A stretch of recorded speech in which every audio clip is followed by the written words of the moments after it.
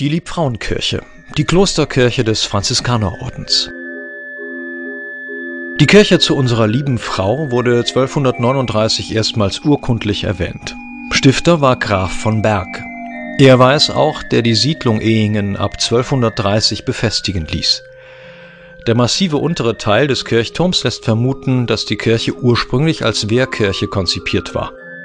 Von den Umbaumaßnahmen Mitte des 15. Jahrhunderts ist so gut wie nichts mehr erhalten. 1616, kurz vor Ausbruch des Dreißigjährigen Krieges, gab es im Magistrat der Stadt Ehingen Bestrebungen zur Ansiedlung eines Klosters. Die Mönche sollten sich um die wachsende Zahl der Wallfahrer kümmern. Erzherzog Leopold schickte zunächst vier Brüder des Franziskanerordens nach Ehingen. Gemäß ihrer Ordensregel lebten die Klosterbrüder von Spenden und Almosen. 1638 erhielt der Orden die Liebfrauenkirche als Klosterkirche. Daneben bekam er zusätzlichen Baugrund für weitere Klostergebäude. Noch war der Dreißigjährige Krieg nicht beendet, da machte sich 1648 der Präses der Franziskaner an den Ausbau des Klosters. 1652 war der Konvent vollendet. Da die Zahl der Wallfahrer ständig stieg, erfolgte 1723 ein vollständiger Neubau der Klosterkirche.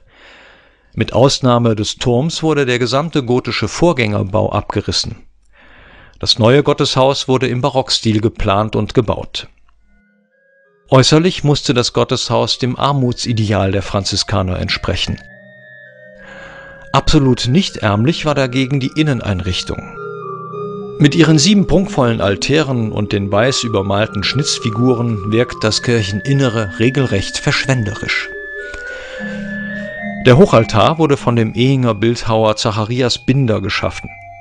In seinem Zentrum steht das Gnadenbild der Mater Amabilis, diese Arbeit aus dem 15. Jahrhundert wird Hans Mulscher aus Ulm zugeschrieben. Bis zur Aufhebung des Klosters 1806 war die Figur mit Kleidern aus echtem Stoff eingekleidet. Daneben trug sie Goldschmuck und kostbare Perlen. Dabei handelte es sich um Spenden und Opfergaben reicher Bürgerinnen und Adelsfrauen. Sehenswert sind auch die Figuren von Caspar Waldmann am Kredenzaltar im Chor. Martin Weller schuf die Altarbilder. Sie zeigen die heiligen drei Könige, Franziskus und die Kreuzabnahme. Leider ist der Künstler nicht bekannt, der die Figuren der heiligen Clara und der heiligen Elisabeth am Seitenaltar geschaffen hat.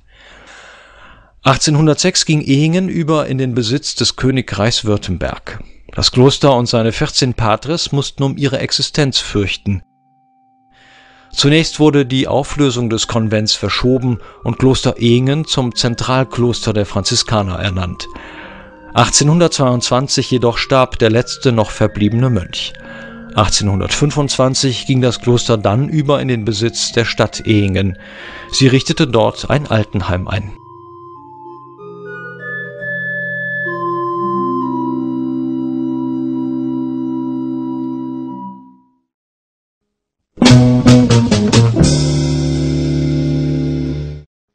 Dies ist eines von mehr als 2000 Scribe-Videos.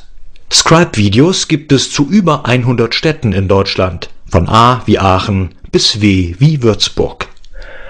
Mit der Scribe-App haben Sie Zugriff auf alle 2000 Videos und können bei Ihrem individuellen Stadtbummel mobil durch die Videos einer Stadt navigieren. Testen Sie die Scribe-App kostenlos. Musik